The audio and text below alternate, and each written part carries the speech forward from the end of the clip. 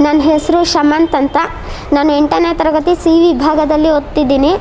ನನಗೆ ಈ ಕ್ಯಾಂಪ್ ತುಂಬ ಇಷ್ಟ ಆಯಿತು. ಯಾಕಂದರೆ ಈ ಕ್ಯಾಂಪಲ್ಲಿ ಆಟ ಆಡಿಸ್ತಾರೆ, ಸ್ನ್ಯಾಕ್ಸ್ ಕೊಡ್ತಾರೆ, ಎಲ್ಲ ಎಲ್ಲ ಇದಿದೆ. ನಮಗೆ ಗೊತ್ತಿಲ್ಲದೆ ಇರೋದೆಲ್ಲ ಇದರಲ್ಲಿ ತಿಳ್ಕೊಂಡೆ ನಾನು. ನಮ್ಮದೊಂದು ಗ್ರೂಪ್ ಮಾಡಿದ್ರು. ನಮ್ಮ ಗ್ರೂಪ್ ಹೆಸರು ಸ್ಪೈಡರ್ ಮ್ಯಾನ್ ಅಂತ. ಈ ಕ್ಯಾಂಪಲ್ಲಿ ತುಂಬ ಚಟುವಟಿಕೆಗಳು ಮಾಡಿಸಿದ್ರು. ನನಗೆ ಎಲ್ಲ ಆ್ಯಕ್ಟಿವಿಟಿನೂ ಇಷ್ಟ ಆಯಿತು. ಮತ್ತು ಎಲ್ಲ ಆ್ಯಕ್ಟಿವಿಟಿಲೂ ಒಂದೊಂದು ಆ್ಯಕ್ಟಿವಿಟಿಲೂ ಒಂದೊಂದು ಥರ ಹತ್ತಾ ಇತ್ತು. ಆಮೇಲೆ ನಮಗೆ ಎಲ್ಲ ಕ್ವಶನ್ ಆನ್ಸರ್ಸ್ ಎಲ್ಲ ಕೊಡ್ತಿದ್ರು. ಅದನ್ನು ಫಿಲ್ ಮಾಡ್ಕೊಂಬರ್ಬೇಕಿತ್ತು ಎಲ್ಲ ಚೆನ್ನಾಗಿತ್ತು. ಎಲ್ಲ ನಾನು ಫಿಲ್ ಮಾಡಿದೆ. ಅದರಲ್ಲಿ ಒಂದೆರಡು ತಪ್ಪಿತ್ತಷ್ಟೇ. ಆಮೇಲೆ ನಮಗೆ ಡ್ರಾಯಿಂಗ್ ಮಾಡಿಸಿದ್ರು ಆಡಿಯೋ ಪ್ಲೇ ಮಾಡಿದ್ರು ಸ್ಟೋರಿ ಆಡಿಯೋ ಪ್ಲೇ ಮಾಡಿದ್ರು.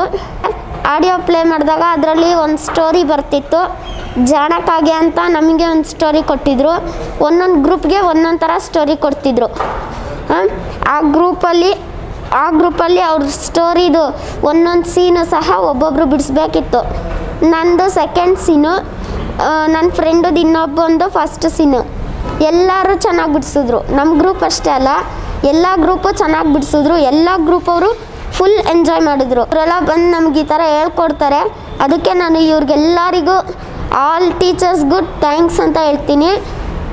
ಮತ್ತು ಇವ್ರನ್ನ ಕರೆಸಿ ನಮ್ಗೆ ಈ ಥರ ಹೇಳಿ, ಈ ಥರ ಎಲ್ಲ ಸೆಕ್ಷನ್ ಅವ್ರಿಗೂ ಈ ಥರ ಇದು ಮಾಡಿಕೊಡಿ ಕ್ಯಾಂಪ್ ನಡೆಸ್ಕೊಡಿ ಅಂತ ಹೆಚ್ ಎಮ್ಮು ಆಲ್ ಟೀಚರ್ಸ್ ಈ ಇಡೀ ಹೊಂಬೇಗೌಡ ಆಲ್ ಟೀಚರ್ಸ್ಗೆ ನಾನು ಥ್ಯಾಂಕ್ಸ್ ಅಂತ ಹೇಳೋಕ್ಕೆ ಇಷ್ಟಪಡ್ತೀನಿ. ಇಷ್ಟು ಹೇಳಿ ನಾನು ಮಾತು ಮುಗಿಸ್ತೀನಿ. ಜೈ ಹಿಂದ್.